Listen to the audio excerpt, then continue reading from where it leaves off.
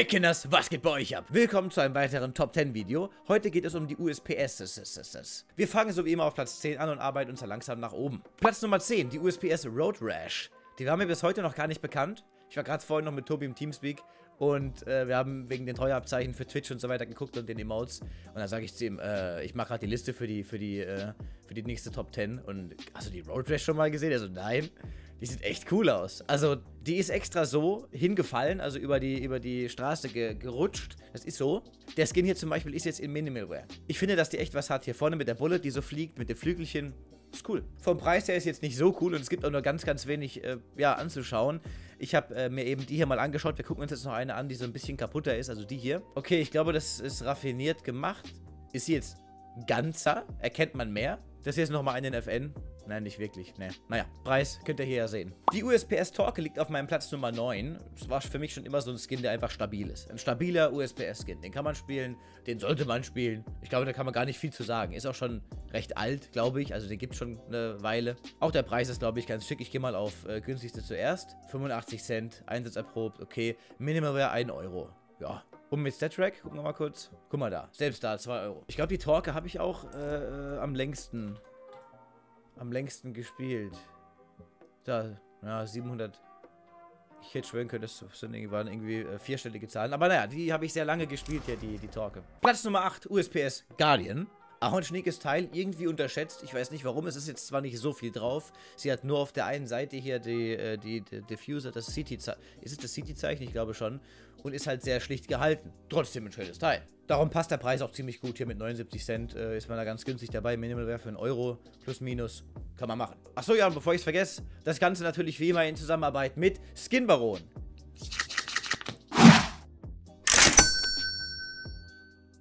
unserem Partner, wenn es darum geht, Skins zu kaufen oder zu verkaufen. Für echte Penunse, ja? Nicht Steam-Guthaben oder, oder äh, Kackguthaben. Nein, Euros, die du in die Hand kriegst. Also, wenn es dir auszahlen lässt auf dein Bankkonto, ja?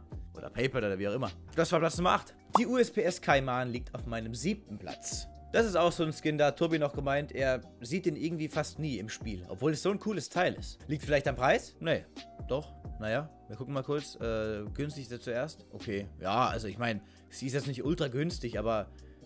Aber schweineteuer ist auch nicht. Also vielleicht trifft es auch einfach nur den Geschmack von den Leuten nicht. Es kann natürlich sein. Ich finde sie echt cool. Auf dem Platz Nummer 6 liegt die USPS Orion und das ist auch der aktuelle Giveaway-Skin. Das wisst ihr ja alle. Wenn ihr es nicht wisst oder noch nicht mitbekommen habt, dann geht mal drei Videos zurück. Ich glaube, es sind drei. Ich verlinke euch das Video hier eh nochmal am Ende wahrscheinlich oder jetzt gerade in dem Moment. Da oben in dem i, da steht das drin. Da kann man draufklicken und da ist dann die Playlist und unten drunter das Giveaway. Kloppe ich euch dann da rein. Das war lange Zeit mein hochwertigster USPS-Skin ein schönes Teil. Ihr wisst, dass mir jetzt halt Gelb nicht so ultimativ zusagt. Ich weiß, dass es sehr, sehr vielen gefällt.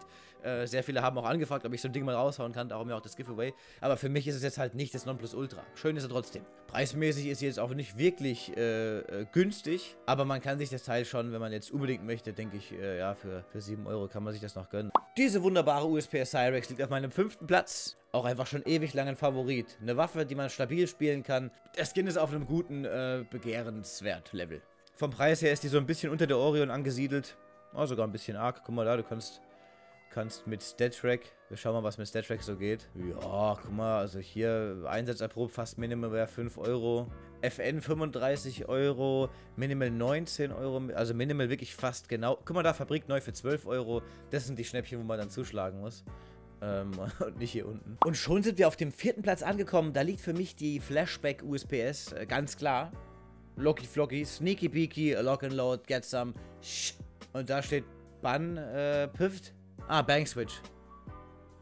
Ah, lesen sollte man können, ne? Born to Clutch, Press This, Bank Switch, Peace. Eine ganz alte Stat-Track-Anzeige. Schön. Und auch der Preis ist eigentlich ganz schön, oder? Guck mal, der Einsatz erprobt, beziehungsweise fast Minimalware. Äh, ich gehe hier mal einfach auf, auf Only Minimalware und äh, Bums. Ja, guck mal, 1 Euro. Du kannst dich nicht beschweren. So, jetzt kommen wieder die vorderen drei Plätze. Ihr dürft also wieder raten, was da bei mir wohl steht.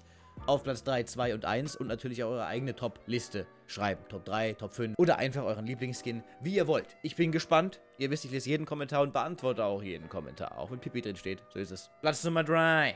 Da haben wir die USPS Cortex. Die kam, glaube ich, erst letztes Jahr dazu und war auf jeden Fall eine Sensation. Also zumindest für mich. Dieses bunte und tolle und toten äh, Kopf. Der Preis ist dementsprechend auch äh, angemessen. Äh, ja, wir können hier sogar noch auf eine zweite Seite.